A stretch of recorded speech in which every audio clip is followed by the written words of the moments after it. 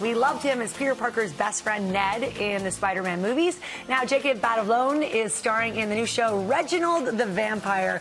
So happy to meet you. Thank you so much. And I love the concept of Reginald the Vampire. You're sort of, it's a fish out of water story, absolutely. if you will, as, yeah. as, a, as poor Reginald navigates the world of vampires. Yeah, absolutely. Uh, he's very much thrusted into this place where no one really expects him to be. Um, you know, he kind of goes through life sort of accepting his sort of societal role as, as not the hero. And so we really get to watch him grow into that part. It's really fun. You're an accidental vampire, if you will. This Absolutely. is not something you chose or were born into. Absolutely. Um, you need to see it. it. And you described the show, because I said, well, should I call it a dark comedy? Yeah. And you said it's very. It's very zany, for sure. It is. Um, it, it's, there's a lot of comedy, there's a lot of dark turns in it, but we absolutely change it up with a comedy immediately afterwards. So I want to uh, set this up. You guys, we have a clip here for everybody from tonight's season finale. Yeah. And um, this is where Reginald has to take an ability assessment test. Yes. All right, let's take a look. Catch the orb. You must catch the orb before it hits the ground. I figured that out all by myself. Thank you very much. You're welcome. On my mark. Three, two, one.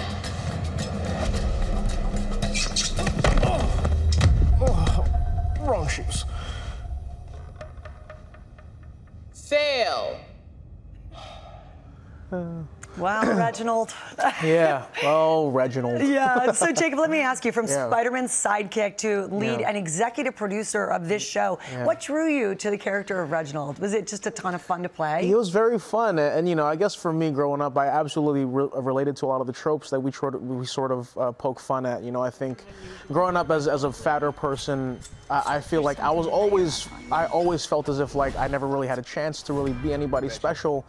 And you know, with like society telling me that I need to look a certain way and be a certain way to be successful and win in life, it really put me down a lot of the time. And so, I feel like for Reginald, he sort of represents us all in that we have, we all have insecurities that we don't need to let us uh, hold, hold us back. So, um, yeah, I think a lot of those sort of things. Yeah, you don't you don't fit the mold in, in your Yeah. vampire world Yeah. of what you know. I was reading some of the research and you know the really beautiful vampires Yeah, and, and the sort of metaphors that we hold to society for sure. Absolutely. yeah. What's the best part of playing this character? Oh gosh, you know, I, I think the best part is honestly just trying to be human while being vampire. You know, it's it's really ironic that he learns a lot about life through death. So, um, yeah, it's a really crazy human journey that I get to be a part yeah, of. you, your character really comes into his own as a man. Unfortunately, he's now Yeah, in- dead. the A dead man, undead. yeah. yeah, and and and it's all fun and games, but there are some bad vampires who, who Absolutely. want to make you even more dead. Yes, because I don't really fit the mold. The bosses of the of the Vampire Society don't really deem me as like acceptable. So here we are at the assessment. yes.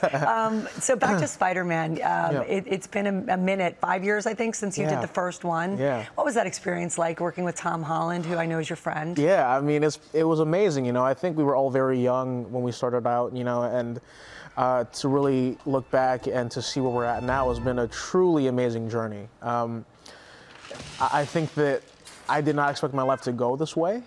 Um, I was just really lucky to have a job. So, um, you know, now, now now that I'm here on Good Morning America by myself, it's interesting. It's it's definitely a crazy, crazy experience. Well, you've earned it. You've earned you it. The so show much. is great. It's really, really nice to I meet you. appreciate it. Continued success. Thank you so much. And everybody, please do check out the season finale of Reginald the Vampire. It's zany. Uh, it's airing tonight on Syfy.